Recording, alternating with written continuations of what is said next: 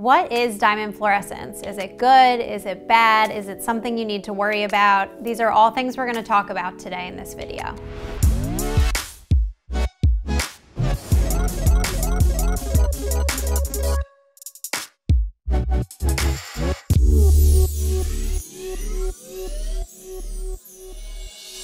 So most people have no idea what diamond fluorescence actually means, but they're told that they should stay away from it at all costs. And I want to sort of explain what it is so that you understand what it means, how it affects a stone, and if it's something that you want to consider in your purchase. So diamond fluorescence is the tendency for a stone to glow when it's subjected to ultraviolet light.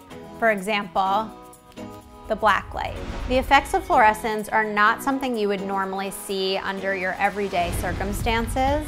And most people don't see it even comparing two stones, one that has it and one that doesn't. So for me, there's some value in purchasing a stone that might have fluorescence that doesn't actually affect the beauty of the stone. Fluorescence is present in about 30% of diamonds out there, and it will be graded with either none, faint, medium, or strong fluorescence. This effect, it's actually pretty cool. The science guys out there may appreciate this. You'll see here that this stone shows no effect. If we move here, now this stone has faint fluorescence and you can see some of the blue. Moving here, this one has medium and now that blue intensifies. It's actually a cool feature and not something you're seeing naked eye without something like this. In general, when you have faint fluorescence in a stone, that's absolutely not something you're going to see with your own naked eye even when you use a black light, it's really difficult to see those effects. Some of those effects can include a milkiness or a haziness in the stone, but that's generally something you wouldn't see until you're at the medium or strong level. And even at those levels, you still may not see that effect. Fluorescence will actually discount the pricing of a stone, so it can play to your benefit in terms of value if you're comparing two stones that are equal across the board otherwise, that fluorescence may actually just give you a better pricing situation.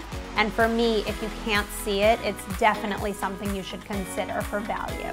One way that fluorescence is actually good is that when you have a stone that's, let's say, J or below for color, so it has some yellow in it, the blue fluorescence, which is sort of opposite on the color scale, can counter out some of that yellow, so it can actually enhance the color of the stone and make it look whiter.